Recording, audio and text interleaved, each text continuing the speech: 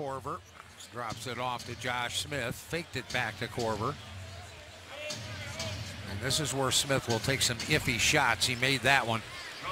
Well, you, you give up a six-foot post position to dribble the ball out two or three dribbles to take a 15, 17-foot face-up.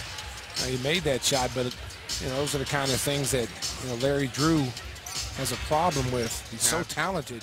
Harris palmed the ball, but they didn't see it. Smith thought about another one. Now he drives it. Oh, what a move! Oh, and he took the ball. He looked like he was just in the backyard by himself. And Carlos just went for the, the fake. Here's that look at that behind the back move. And that's that's why you're so high on this kid if you're an Atlanta Hawks fan is, is he shows you so much athleticism. And he could really be one of the better power forwards in the league. Josh Smith thinks about it and then oh, lost the my handle. Got it back. He wants to shoot it. Backing, backing and dancing against Noah.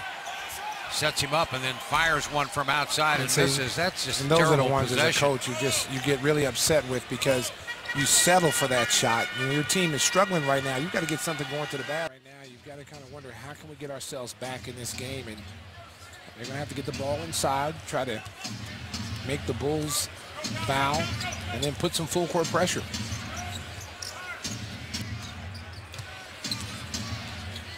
There's too much dribbling right now. He's holding the ball way too much.